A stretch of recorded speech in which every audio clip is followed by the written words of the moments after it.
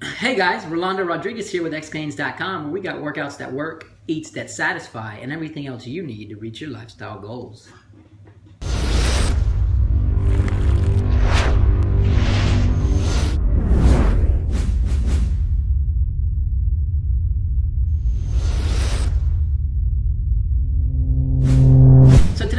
Talking about fasted training. I don't know how many of you guys know, but I've been training fasted for almost four years now, ever since I started Lean Gains. And part of Lean Gains is intermittent fasting. And so my personal window, my typical window of eating is from 3 p.m. to 9 p.m. And then from 9 p.m. to 3 p.m. the next day, I don't eat anything. I typically work out in the morning I love to wake up early, typically wake up around 4.30. It's awesome because it's just you and a few animals that you get to hear waking up and the rest of the world's asleep. So there's nothing to get in your way if you wake up and work out first thing. Some people hate it, that's fine, but hey, give it a go and see. We'll talk more about that later. Let's get back to fasted training. Here's my typical routine, right? So I eat from 3 p.m. to 9 p.m. every single day and then I go to bed around 10 p.m. and I wake up the next day nowadays around 4:30, 4:45 to try to be working out by 5. My workouts consist of one strength training routine, 30 minutes, and then one cardio routine, sort of cross training uh, with weights, lighter weights, of course, but something to keep the heart rate pumping the entire time those 30 minutes are, are going. So one's a strength training and then one sort of a cardio training session. And then I'll finish it typically off with a uh, 3K run that I try to do within 30 minutes. I try to keep it to an 839 minute uh, mile 3K run, right? And so that takes, that's an hour and a half of working out. Now, my strength training routines are 30 minutes, so they're high intensity too. It's not just the cardio that's pumping. My typical heart rate during my strength training routines is anywhere from 130 to 145. And then during the cardio ones, it's anywhere from 150 to 165 and I'm keeping the intensity there. I have my wristwatch uh, on, my heart rate monitor, checking what's going on and making sure that I'm upping the intensity every time and I'm keeping track of my numbers and I know when I'm reaching personal best. And I've done it fasted. There's nothing to be afraid of. And this message isn't coming from somebody who just trains on an eight hour fast. No, I've trained and trained number of times monthly on a 20 or 22 or an 18 hour fasted state and my workouts are fine let's go, let's rewind now. The first day that I tried training on an empty stomach, on a fasted state, meaning I woke up from sleeping the night before and got on my gym clothes and worked out without my little piece of toast or my eggs was scary. I was of the mindset, as many of us are, that to get through a workout, you're gonna need a little something in your stomach, right? So if you're gonna have an intense workout, then you're gonna wanna have a little bit of carbs because your body's gonna actually access the carbs that you just ate to be able to, you know, make you work out better. Not really. I was of that mindset, so it was sort of a placebo pill in my mind, anyways. Hey, you know what? I need something before I go to work out. It gets me in the mindset of working out. Well, guess what? The first day that I didn't eat something, that I trained fasted, I was terrified. I got through the workout, I didn't die. Mentally, I thought I was a little bit slower. I don't think I actually was because the next day I said, you know what, screw it, I'm just going all out. And I was able to go all out. And I had some personal best training that day fasted. So the third day I was like, you know what, forget it. I'm going all out in my workouts. This is fine. So when I started training fasted, I didn't do, I didn't train my first day on a 20 hour fast.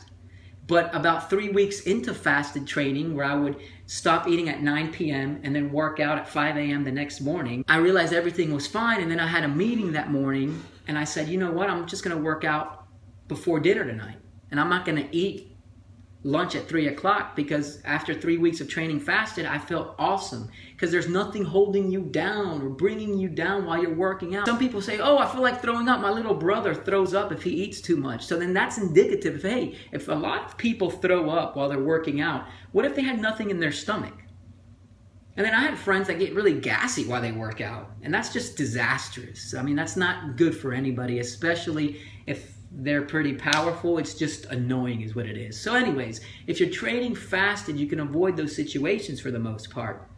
But regardless, let's talk about the intensity. It was there. The first time I worked out on a 20 hour fast, I worked out at 5 p.m., not eating anything since 9 p.m. the previous day.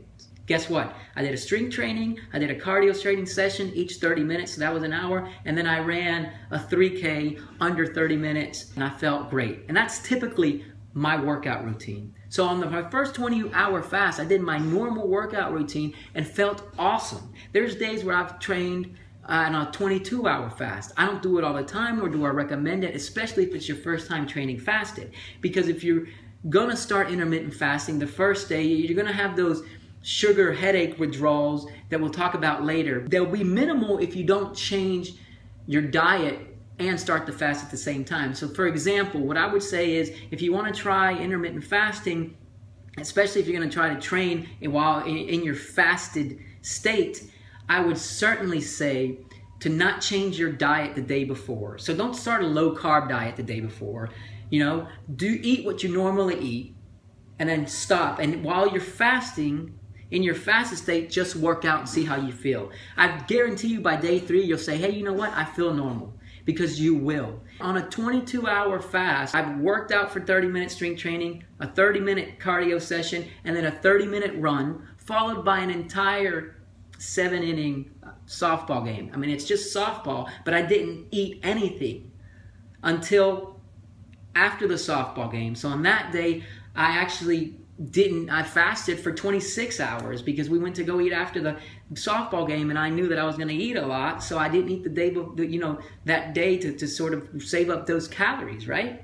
So the point of this video is if you want to try intermittent fasting and if you want to train fasted go for it. I'm probably as lean as I've ever been at this weight. So I'm currently at 170 and about 8% body fat, which is what I like to be at. And I haven't been 178% body fat. Normally I've been 170 with like 10 or 12% body fat. So it works. It can work.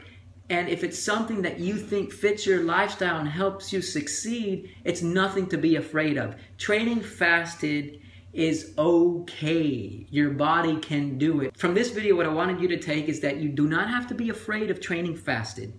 The first day, there might be like a mental block or a placebo effect. Hey, I need something. The second, if you keep coming with the intensity, you'll be fine. The only caveat that I suggest about training fasted is don't start a, a new diet.